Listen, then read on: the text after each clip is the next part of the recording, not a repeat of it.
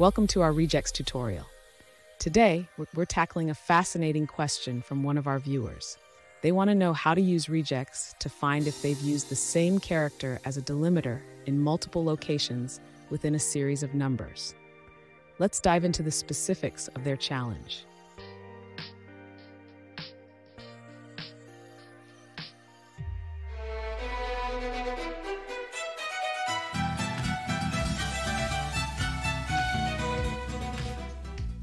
Welcome back to another technical video. Today, we'll be going through your questions, answering them, and hopefully finding that solution you need. Guys, remember to stay just a little bit crazy, just like me, and hopefully you'll find that solution you're looking for. Now, let's continue on to the video. To find numbers with the same delimiter using regex, we need to create a pattern that captures this requirement. Let's start by understanding the structure of the numbers you provided.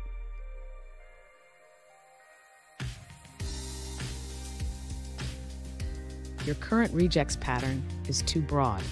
It allows for different delimiters between the number groups. Instead, we need a way to ensure that the same delimiter is used consistently.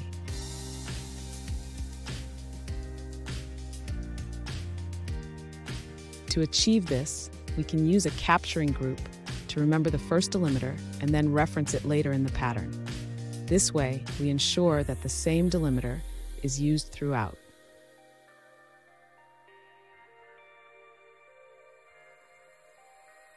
Now, let's break down the updated regex. The parentheses create a capturing group for the delimiter, and slash 1 ensures that the same delimiter is used in both places.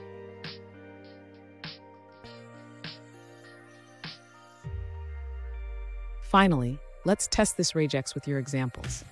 The updated pattern will match 123 plus 456 plus 7890, 123 7890, and 123.4567890, but it will fail for 123 plus 456.7890 as expected.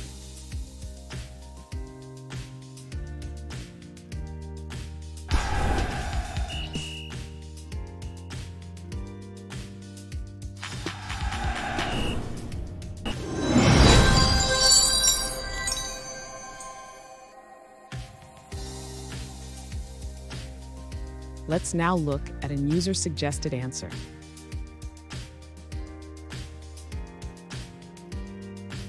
To find if you've used the same character in different locations, you can use a back reference in your regex. For example, the pattern test out in tab 4 captures the first operator and ensures it's the same in subsequent locations.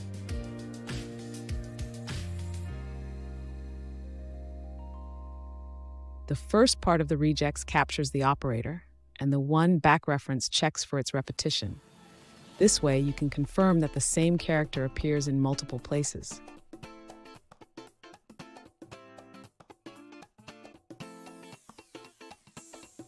For more examples and to practice, check out the Regex 101 demo linked in the description. You can also learn more about back references on the regularexpressions.info website.